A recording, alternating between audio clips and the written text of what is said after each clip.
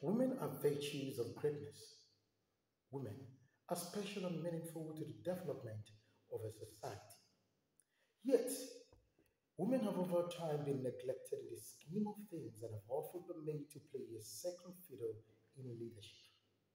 The agitation for women inclusion in Nigerian politics suffered a huge setback when lawmakers voted against the bill seeking to provide special seats for women in the national and state houses of assembly.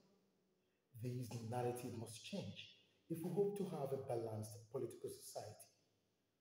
As the United Nations celebrate the International Women's Day today, let us not forget in a hurry our heroines, whose memories lingers even after death in no particular order.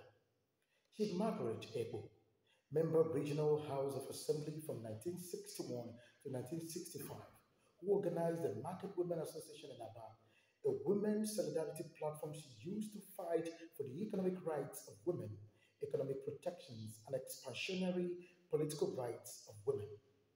Queen Amina, the revered warrior queen who reigned for 34 years and greatly expanded her kingdom through conquest and opened up trade routes.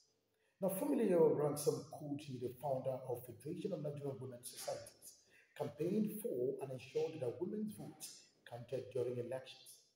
Ladi Dosei Kwali, Born 1925 and died in 1984, is a pioneer of modern poetry in Nigeria the first and only Nigerian woman to have appeared on a currency note. Look at your 20 naira note. She is there. Dr. Ameyo Stella Adadevoh, who died on August 19, 2014, saving millions of Nigerians from contracting Ebola, a woman the country has failed to honor. The story of Dora Akonyele is known to us Elizabeth Abimbola Awoli, Grace Alele Williams, Ngozi Okonjo Iweala, Obi Ezekwesili, Chimamanda Ngozi Adichie, Ibukun Awosika, Amina Muhammad, Fola K. Solanke, Captain Chinyere Kalo, Adetobun Okunse, General Aderoke Kane, Flora Nwapa, Aisha Yusuf, Sarah Jibril, Virginia Ichana, Ire Aderinokun, Agbani Darego, Mosunmola Abudu, the one I call Mo Abudu, Sandra Aguebo Ekwero, Omotola Jalade Ekeinde, Genevieve Nnaji, Kiki Mordi, and other great women living and dead who will not mention here.